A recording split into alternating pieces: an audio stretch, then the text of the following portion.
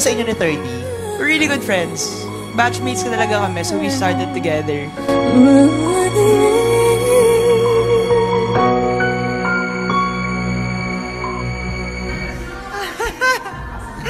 Pretty! friends meet again, wearing older faces. Talk about the places they've been.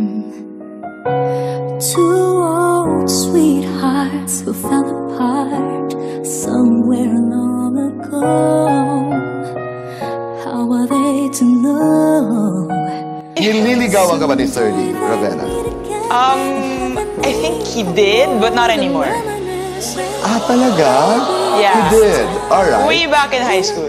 love and they'll find maybe now they can be more than just friends. She's Alright. Pero hindi you you become you you became friends. Yeah, very good, very, very Pero good hindi friends. siya nag ah, hindi siya nangulit. Well, you'll have to confirm with him. I don't want to be assuming. But from my perspective, I think he tried again. Like, first year siguro. I don't remember. That's been so long. Do you like him? As a friend, yeah. Bakit hinanap mo siya nung ano, nung grand, fi- grand finals? nung championship, tapos nagha- nagyakap kayo.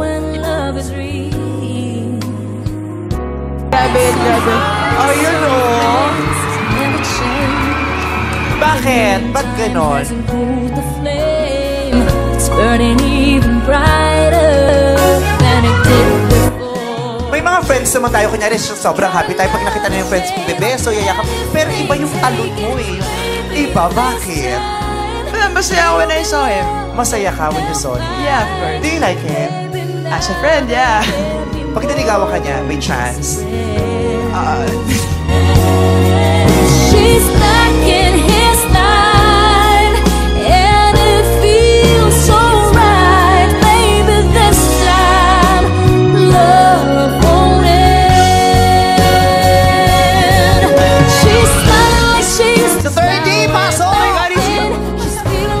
back Anong meron kayo ni Bea?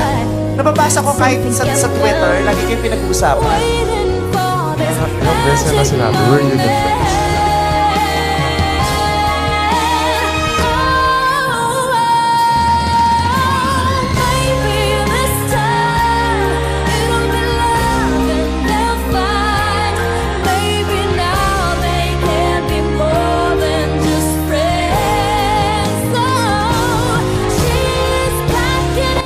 Oo o hindi. Mahal mo ba si Bea De Leon? As a friend po.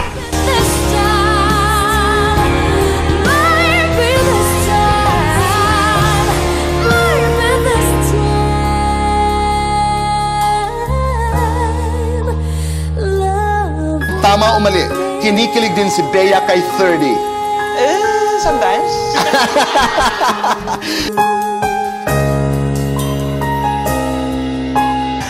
Gagawing sitcom ang buhay mo. Give it a title. Ano ba talaga kami ni 30?